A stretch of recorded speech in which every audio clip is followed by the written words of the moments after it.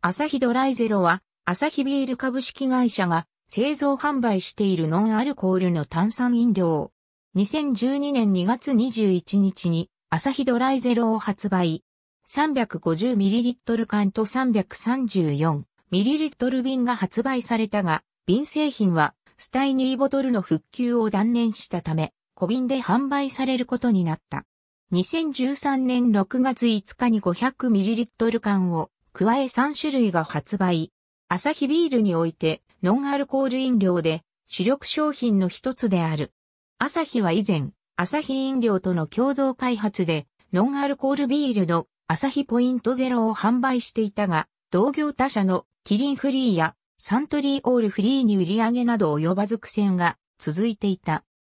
その売上低調の屈辱を晴らすため新たに開発したのがこの商品である。2013年2月上旬製造分からリニューアルが実施され、原材料の使用比率を見直した。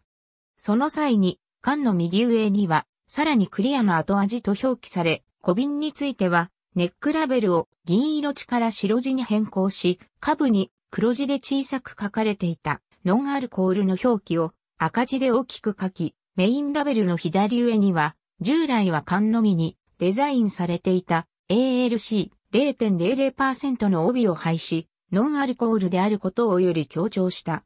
このリニューアルに際し、東日本の製造拠点を茨城工場から2年ぶりに福島工場に戻された。同年9月上旬製造分から2度目のリニューアルを実施。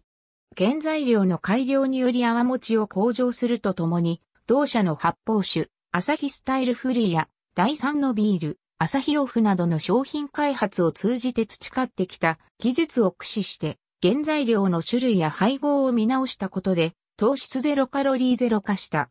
2014年6月10日には黒いパッケージの黒ビールテイスト清涼飲料アサヒドライゼロブラックを発売した。黒ビールテイストのノンアルコール飲料自体は2012年5月23日に札幌ビールから札幌プレミアムアルコールフリーブラックを発売し、市販されているが、本品は黒ビールテイストのノンアルコール飲料で、世界初となるカロリーゼロと糖質ゼロを実現した製品で、容量は 350ml 缶のみの設定である。同年12月中旬以降に3度目のリニューアルを実施。原材料のバランスを見直して、コクとキレを向上したほか、発売以来初めてパッケージデザインを刷新した。2015年3月3日には、ノンアルコール飲料で最小級となるプリン体0.0を実現した白いパッケージのアサヒドライゼロフリーが発売された。本品は 350ml 缶と 500ml 缶の2製品を設定する。同年12月中旬以降にアサヒドライゼロの4度目のリニューアルを実施。原材料を見直し、新たな香料を使用することで切れ、後味、喉越しを向上した。2016年12月下旬以降に、アサヒドライゼロの5度目のリニューアルを実施。ホップによる苦味のバランスを調整した。また、2015年10月から2016年9月までの1年間で、インテージ SRI によるノンアルコールビールテイスト飲料市場での累計販売金額でナンバーワンとなったことを受け、瓶のラベルや缶のパッケージの左上に売上ナンバーワンのアイコンが表示された。その後、同分野の2016年における年間の累計販売金額でもナンバーワンとなり、2015年まで5年連続でナンバーワンを保持していたサントリーオールフリーから初めて首位を奪った。2017年1月下旬以降にアサヒドライゼロフリーのリニューアルを実施。甘味料を従来のアセスルファム系から天然素材のステビアに変えたことで人工甘味料例を実現した。2018年1月下旬以降にアサヒドライゼロの6度目のリニューアルを実施。原材料の配合及び素材の最適化が行われた。また、2017年の販売数量が大瓶20本換算で697万箱と歴代最高の販売数量が記録され、同分野における2017年の年間販売金額が2016年に続いて2年連続でナンバーワンを獲得したことから、缶やラベルに記載のナンバーワンのアイコンがダブルで表記された。同年7月3日には、アサヒドライゼロの完成品よりも炭酸を強めたブランド発のペットボトル製品、アサヒドライゼロスパークを期間限定で発売した。2019年1月下旬以降に、アサヒドライゼロの7度目のリニューアルを実施。原材料の配合バランスが最適化され、炭酸ガスの強さが高められた。また、2018年の販売数量が、大瓶20本換算で720万箱が記録され、歴代最高の販売数量を更新。同分野における2018年の年間販売金額が2016年2017年に続いて3年連続でナンバーワンを獲得したことから売上ナンバーワンのアイコンがゴールドに変更された。同年2月26日には前年に期間限定品として発売されたペットボトル入りのアサヒドライゼロスパークが通年製品化。通年製品化にあたり、炭酸をさらに高め、朝日ロゴや商品名を斜めに配するなど、パッケージデザインが刷新された。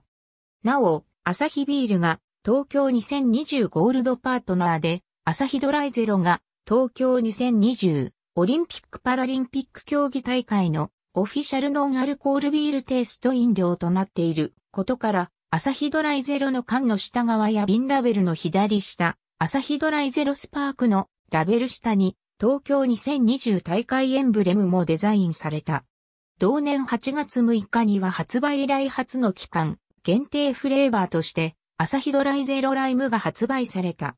2020年1月下旬以降に、アサヒドライゼロの8度目のリニューアルを実施。原材料の配合の見直しにより味わいを強化。また、缶は、裏面中央部分に、瓶は、表ラベルに、金体で、東京2020オフィシャルのアルコールビールテイスト飲料の記載が入った。同年2月12日には 350ml 缶に春季限定で桜のイラストを配し、側面をピンクとしたスペシャルパッケージが設定された。アサヒドライゼロは同社が発売するビールの主力商品、アサヒスーパードライをあしらったようなパッケージであるため、発売前から誤飲を招くなど、インターネット上で賛否の意見があった。